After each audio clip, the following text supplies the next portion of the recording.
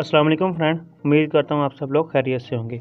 आज का जो हमारा टॉपिक है कि हम लोग बी लव नेटवर्क से जो अपने बी लव टोकन है, वो एक अकाउंट से दूसरे अकाउंट में कैसे सेंड कर सकते हैं और अगर आप उसे वैसे सेंड कर रहे हैं या आप उसे सेल कर रहे हैं तो वो कैसे सेंड होंगे। सबसे पहले आपने अपना जो है ना B love network application open कर लेनी है।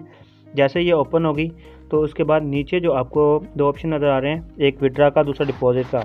आपने विड्रा पे क्लिक कर देना है। जैसे आप विड्रा पे क्लिक करेंगे तो आपके पास ये आ जाएगा।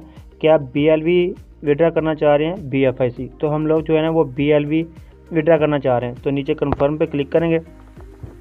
जैसे हम कन्फर्म पे क्लिक करेंगे तो उसके बाद हमारे पास जो ऑप्शन आ जाएगा वो एड्रेस का आ जाएगा। तो आपने उससे एड्रेस ले लेना है जिसे भी आप सेंड कर रहे हो तो उसे यहाँ पे पेस्ट कर देना है। उसके बाद आपने जो है ना वो अमाउंट लिखनी है। जैसे आप यहाँ पे अपनी अमाउंट लिखेंगे, मैं अभी जो है ना सिर्फ़ आपको समझाने के लिए सेंड कर रहा हूँ तो मैं एक टोकन जो है ना वो सेंड कर रहा हूँ।